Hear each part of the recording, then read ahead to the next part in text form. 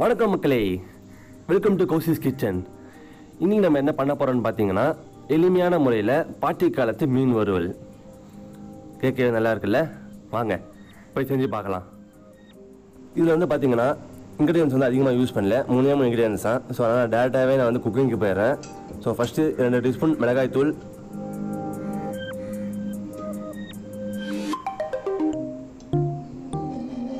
அதுக்கப்புறம் மஞ்சள் தூள்.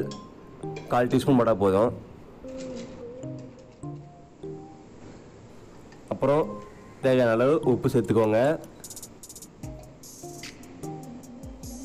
இப்போ கொஞ்சோண்டு தண்ணி ஊற்றிட்டு அதை அப்படியே மிக்ஸ் பண்ணிக்கோங்க. இந்த மசாலா தான் நம்ம மீனில் வந்து பூச போகிறோம்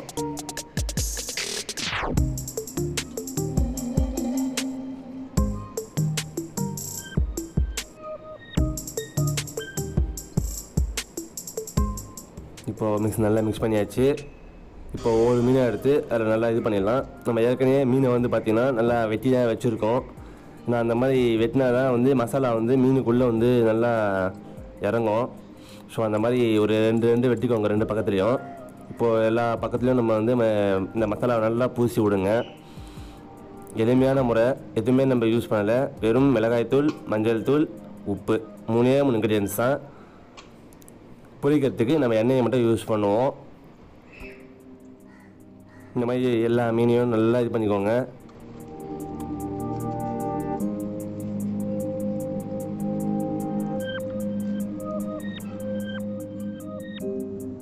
இப்போது ஸ்டவ்வில் கடாயை வச்சுருக்கேன். ஸ்டவ்வை பற்ற வச்சுக்கலாம். கொஞ்ச நேரம் கடாய் ஹீட் ஆகட்டும்.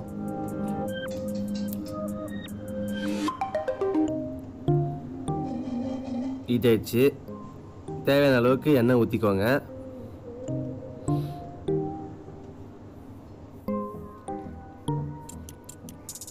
எண்ணெய் யூஸ் பண்ணுறதுக்கு விரும்பாதவங்க நீங்கள் ஓடிஜியில் பண்ணலாம்.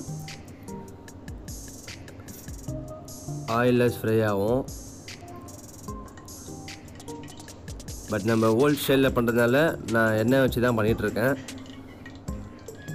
எண்ணெய் நல்லா சூடாகிட்டுருக்கு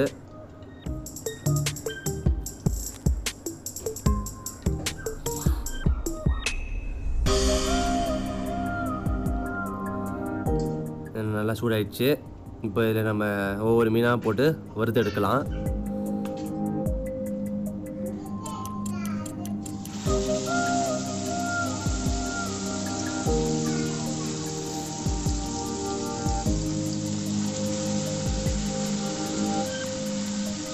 என்னோட கடாயில் பார்த்தீங்கன்னா ரெண்டு தான் போட முடியுது. ஸோ நான் ரெண்டு தான் போட்டிருக்கேன்.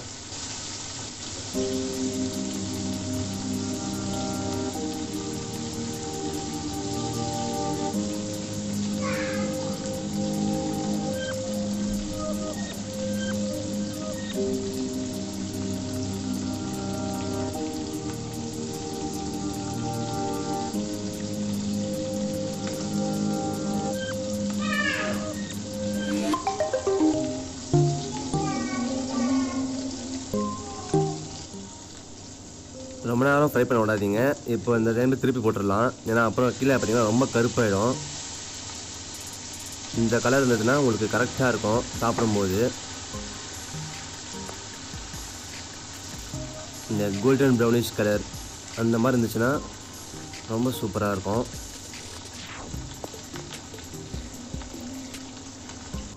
அதே மாதிரி இந்த பக்கமும் அதே கலரே வர மாதிரி பார்த்துக்கோங்க. அப்போ போய் இப்போது திருப்பி விட்டுக்கிட்டே இருங்க.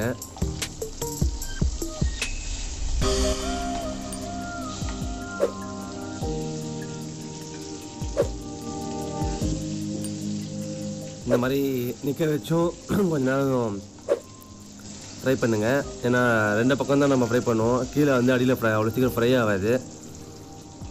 ஸோ கொஞ்சம் ஃப்ரை ஆகிறதுக்கு நம்ம அந்த வந்து லைட்டாக நிப்பாட்டி வச்சு நம்ம ஃப்ரை பண்ணலாம்.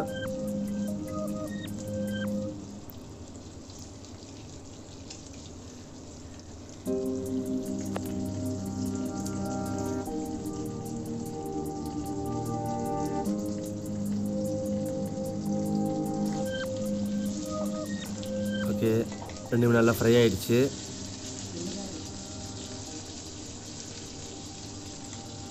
இப்போ இதை எடுத்துடலாம். இந்த காலத்தில் யாரும் இந்த மாதிரி செய்ய மாட்டாங்க. ஐ மீன் வீட்லேயும் சரி ஹோட்டல்லையும் சரி. ஒரு மசாலா கூட இல்லாமல் யாரும் செய்ய மாட்டாங்க. அந்த மாதிரி மாறிடுச்சு காலம். பட் இந்த மாதிரி செஞ்சு பாருங்கள் உண்மையிலேயே அருமையாக இருக்கும் சாப்பிட்றதுக்கு.